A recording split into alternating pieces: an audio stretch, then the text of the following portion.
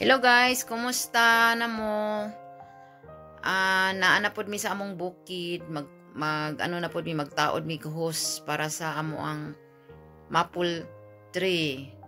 Para makakuha na pod mi og tubig. Para maka pamugas. Para pamugas ani siya magtaod o kang i ano lang siya i dukdukon nimo pero pag mag-ingat lang kasi mo kamot kay na madukdukan dito sa martilyo.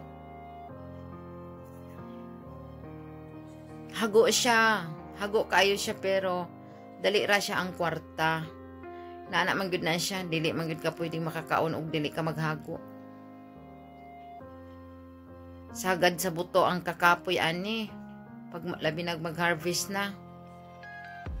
At kaayo ang tag pila oy tag 20 liters imong kuan imong bitbiton sa tag sa sa tag sa, sa isa ka galon.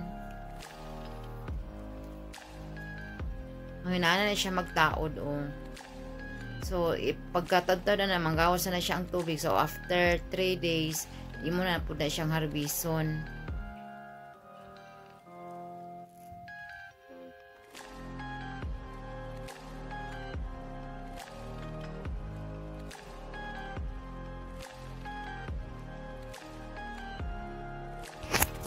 So, yung nana magtaod guys. I-ano siya ka ng parang tusok lang para ituslok tong hose niya. Tapos tanawa, oh, after mga pila ka minuto lang siya, nag-agas na ang mga tubig. Oh, nagsige siya.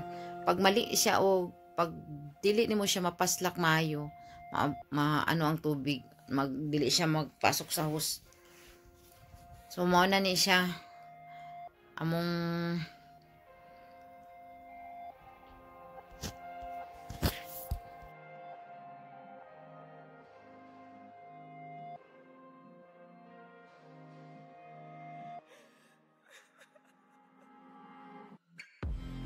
Oh, 'di ba? Pila ka minuto lang na na siya tubig oh.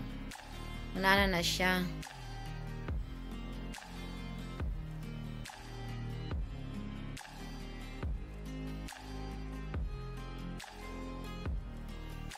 So, kani siya, next year na pod, one month lang ka mag-harvest ani. One, one month lang. Tapos, pag humantanggalo na pod na mga mga pila ka, isa ka, pagkatapos na isa ka bulan. So, next year na naman. Isa-isang sa katuig kaduha ikaisa ra ka mang harvest ani pang winter lang gid siya kung daghan kung ano siya lamig kaayo daghan tubig ang moagas pero kung medyo init siya di wala siya lamig ah wala siya dili kay siya moagas ang tubig Thank you for watching guys. Sa sunod na po di gayon. Salamat.